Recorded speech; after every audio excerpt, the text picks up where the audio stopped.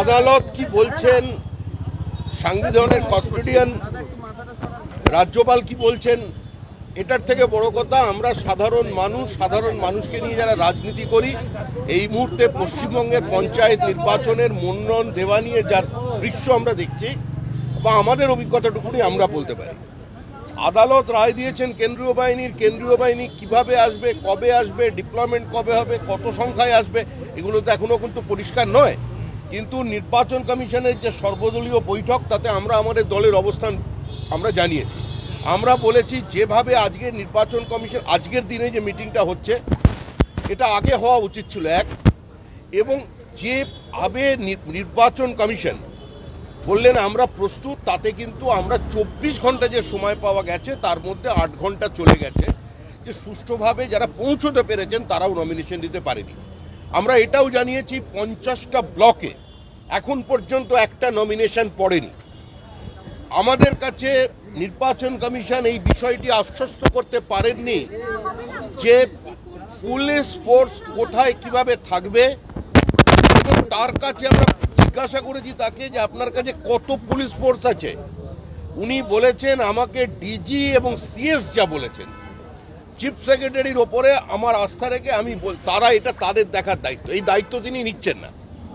কার্যত আজকে যে নির্বাচন হতে চলেছে এবং নির্বাচনে যেভাবে গ্রামের মধ্যে ঘটনা ঘটছে সেটাও আমরা বলেছি যে আজকে প্রত্যেকটা বিডি অফিসের মধ্যে শাসক দলের লোকজন বসে আছে, কিছু মানে দুষ্কৃতী বসে আছে, তারা আক্রমণ করছে। এ বিষয়ে তিনি শুনেছেন।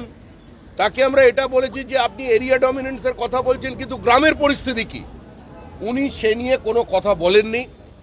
উনি এটাও আশ্বস্ত করতে পারেননি যে নির্বাচনের দিন প্রত্যেকটা বুথে অন্তত একজন করে আর্ম ফোর্স থাকবে। এ নিয়ে তার কি পরিকল্পনা আছে? তিনি সেটা বলেননি।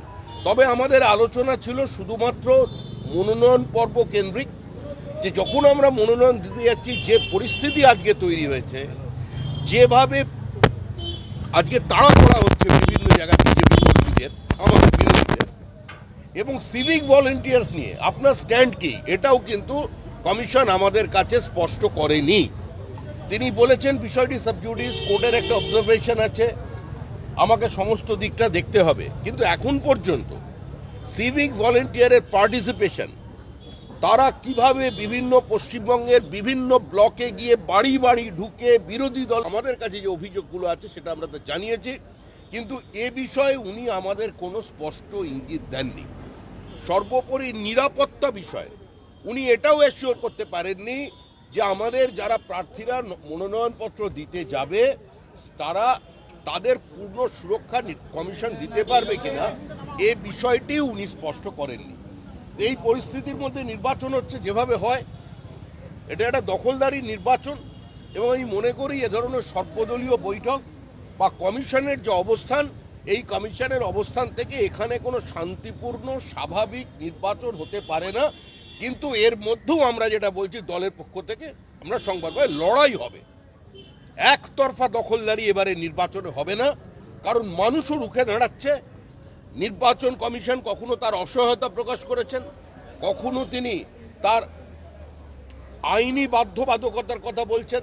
কখনো তিনি রুলবুকের কথা বলছেন?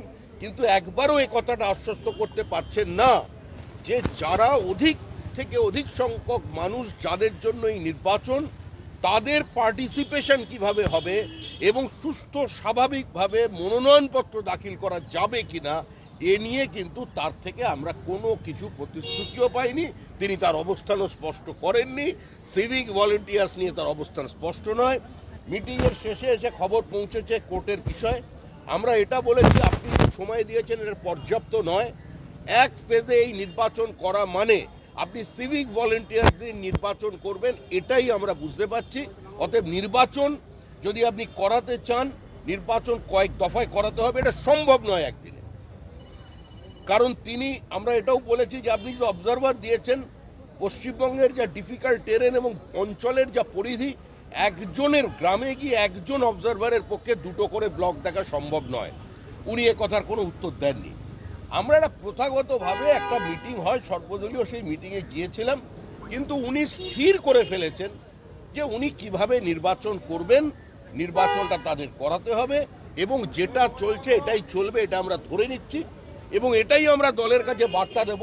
আমরা পার্টি অফিসে ফিরে গিয়ে যে যে পরিস্থিতি আজকে দেখা যাচ্ছে ভাঙড়ে, যে পরিস্থিতি লাভপুরে দেখা গেছে, যে পরিস্থিতি দিনহাটায় দেখা গেছে, যে পরিস্থিতি সন্দেশখালী ক্যানিংয়ে দেখা যাচ্ছে, যে পরিস্থিতি পুরুলিয়ায় দেখা যাচ্ছে, ওই একই অবস্থার মধ্যে নির্বাচন হবে এবং তার মধ্যেই আমরা লড়াই করব এবং এই লড়াই মানুষের লড়াই তৃণমূলের বিরুদ্ধে। ধন্যবাদ। নির্দেশে কোর্ট যতদূর পর্যন্ত নির্দেশ দিয়েছে, এটাকে কীভাবে এক্সিকিউট করবার মতো কোনো মানসিকতা আমরা নির্বাচন কমিশনের শরীরী ভাষায় এবং তার যে শব্দগন্ধ তিনি ব্যবহার করেছেন, তার মধ্যে পাইনি।